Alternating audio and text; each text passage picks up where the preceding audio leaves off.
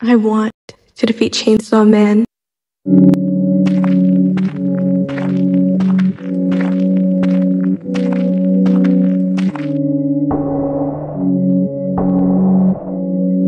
And prove that I'm the more fearsome devil.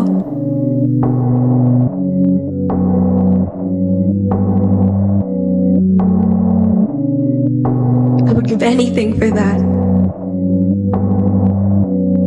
For that. Children into weapons? Well, I guess I would. Come to mother. Tank. Gun.